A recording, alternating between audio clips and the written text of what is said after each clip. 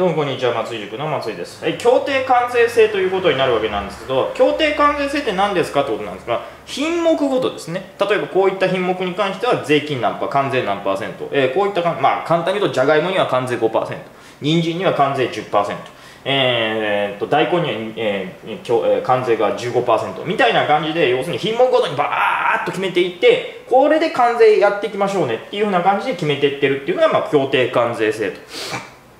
いうことになるわけですね。よろしいでしょうか。それでは本日もご視聴いただきまして誠にありがとうございます。